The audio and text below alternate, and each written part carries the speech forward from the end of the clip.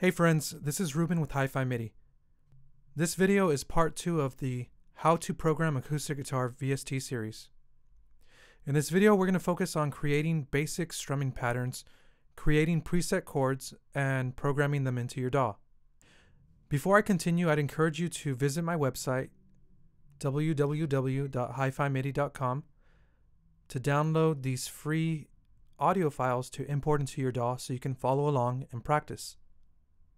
Just a reminder, this is a basic tutorial, but many of the concepts will apply to more complex programming. You won't need a MIDI keyboard for this. Manual note input will be talked about in another video. The strum patterns in this tutorial were inspired by Guitareo's 5 Essential Strumming Patterns video. I figure, if you're going to learn virtual guitar, you might as well learn it like a guitar, right? So let's begin. If you're practicing along with this video and you've downloaded the free bass and drums file, you'll want to set your meter to 4-4 and your tempo to 70 beats per minute. You should have a total of three tracks, one of which is your Ample Sound acoustic guitar. I need to make a correction from the last video. You do not have to have stroke noise on when you're in strummer mode. It automatically plays it for you. However, you can adjust the stroke volume in the first window in strummer mode. This is a useful feature. For this exercise, my song is in the key of C major. This is strummer's default key, so you won't have to change anything. We're only playing four chords, C major for two measures, F major for two measures, A minor for two measures, and G major for two measures. To change these keys, we will be selecting the numbers those chords are assigned to in our chord bank. Those numbers are 1, 6, 10, and 8. If you're working with the MIDI keyboard, you can select them by pressing C2, F2, A2, and G2 respectively. Now it's time to begin creating our strumming patterns. In the sequencer window, we're going to click the small X in the top right corner this is going to clear the sequencer window. Since this song is in 4-4, we have access to 16 columns, which are 16th note divisions. Our first pattern is going to consist of 8th note downstrokes. There are two types of downstrokes within this plugin.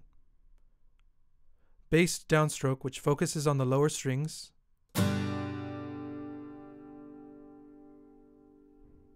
and treble downstroke, which focuses on the upper strings. We will be using the treble downstroke for this pattern. All you need to do is click every other matrix cell, and Strummer will trigger the chords for you.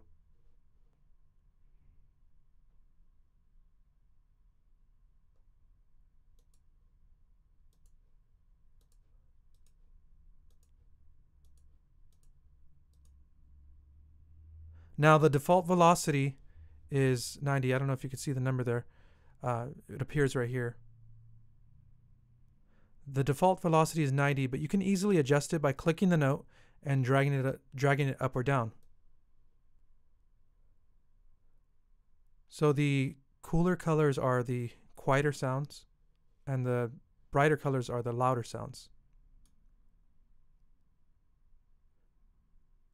You'll see the velocity value change. The range is 1 to 127. For those of you unfamiliar with this, velocity is the speed at which you strike a note on the keyboard. Lower velocity means softer sound, and higher velocity means louder sound.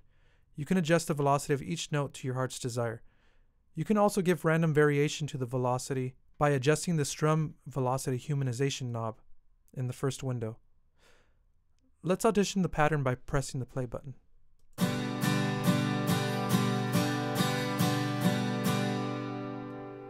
I think I want it a little softer.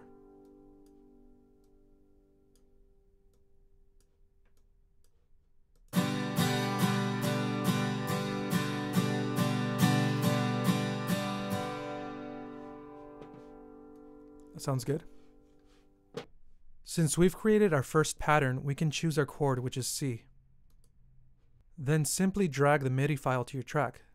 So we go to this drag to host button, click it, and then drag it to our track. This chord should play for two measures, so you can either drag it into your track one more time, copy and paste, or if you use Logic, drag and loop.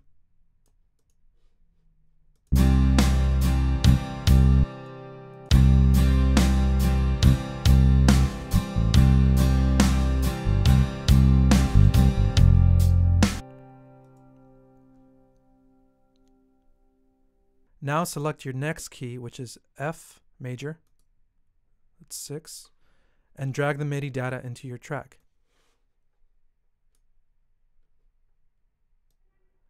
I'm going to loop it again. Now choose your next key, which is A minor, and drag. It's that easy.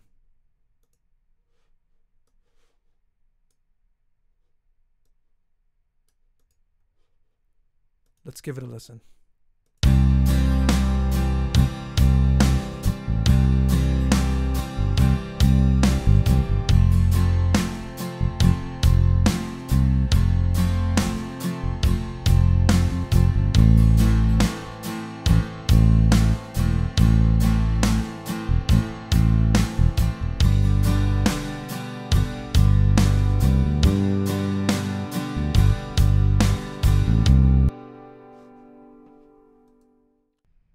Purpose of clarity, I'm going to change the color of these MIDI regions.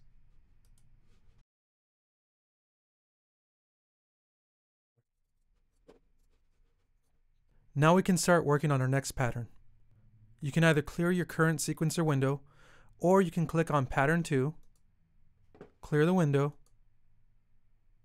and start on a new one. It doesn't matter, this will not affect the strum pattern you've already created in your track. This time we're going to create an eighth note down upstroke pattern and follow the same steps as before. Since I've already created an eighth note pattern, I'm just going to change every other downstroke to an upstroke. To do this, I just need to click on the upstroke cell. This creates a new articulation while deleting the old one. So this is the upstroke cell.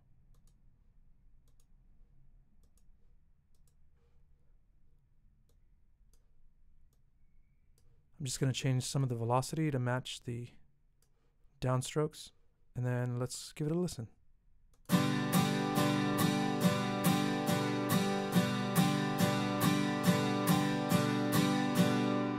I like it.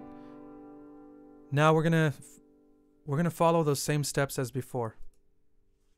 C major, drag, loop, F major, drag, loop, A minor, drag, loop, and then, oops, G major.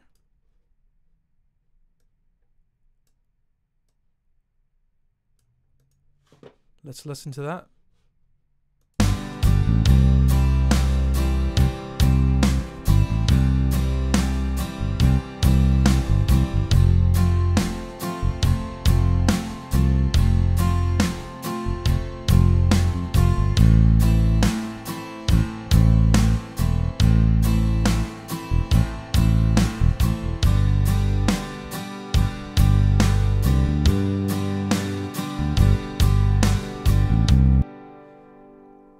Okay. This is getting easier, right? The next pattern we're going to create is going to be built off of this one. It's going to be downstroke, upstroke, palm mute, upstroke, downstroke, upstroke, palm mute, upstroke. So the only ones we're going to change are the third and seventh downstroke. We're going to change it into a uh, muted, palm mute downstroke, which is this one right here. All you need to do is click click that uh, cell. I'm going to make it a little quieter and let's listen to it.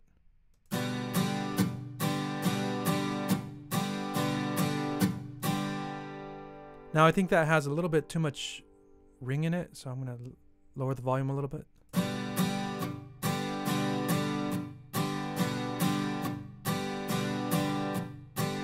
I like it.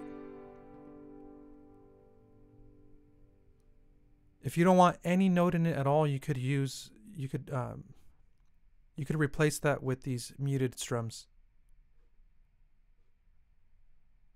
And that'll be fine. So I'm going to select my chord, drag it.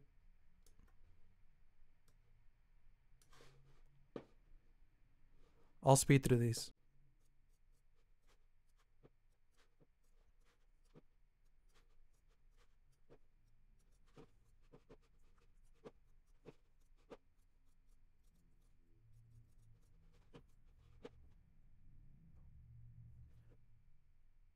For our fourth pattern, I'm going to take out the muted strums. You can delete them by double clicking, but you don't have to delete them like that. You can just simply choose another articulation. So we're going to go down, down, down, up, down, down, up. To do this, we can drag this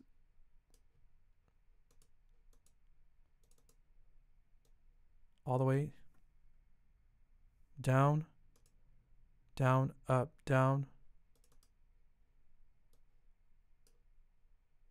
down, up.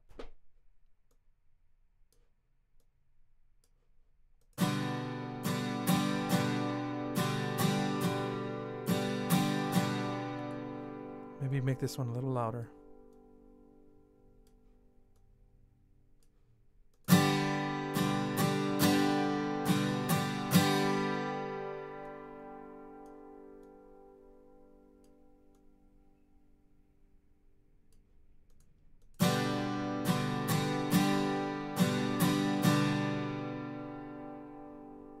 Okay, and then go through the same steps. I'll speed through this.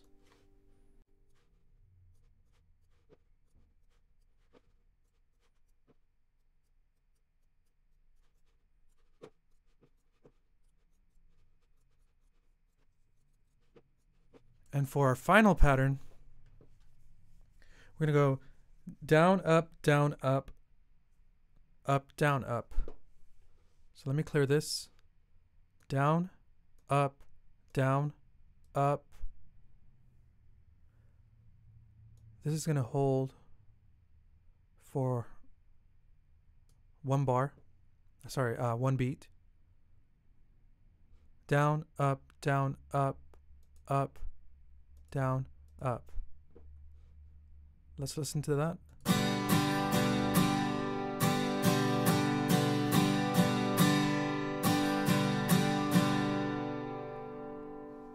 I like that.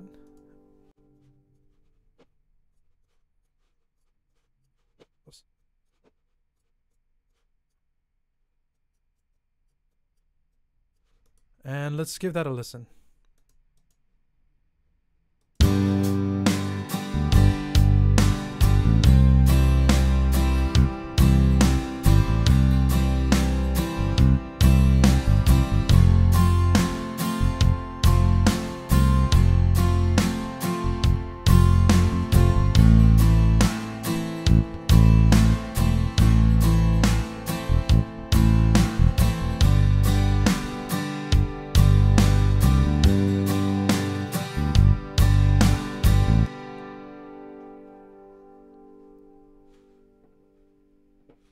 Now that you know how easy it is to create these patterns within Strummer, you can start making them more complex by filling these in, filling these cells in. Remember, you can only do it one at a time.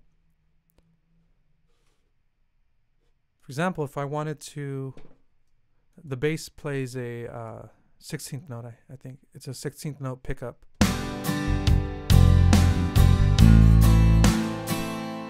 Somewhere around here.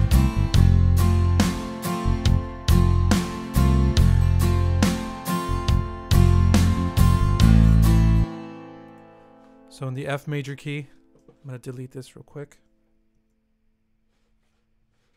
F major, and I just want a little down up, dun dun dun bum bum down up.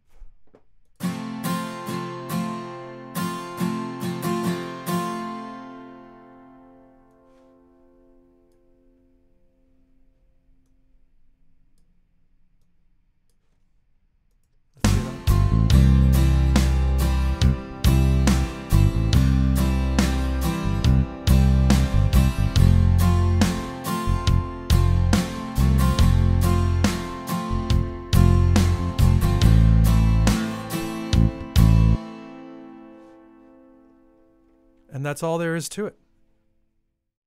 Friends, thank you for watching. If you're not a subscriber and you want to see more videos, hit that subscribe button and click on the little bell for notifications. Feel free to like, share, and comment. I'll be posting new videos soon where I'll cover inputting notes while recording and advanced strumming techniques. Take care.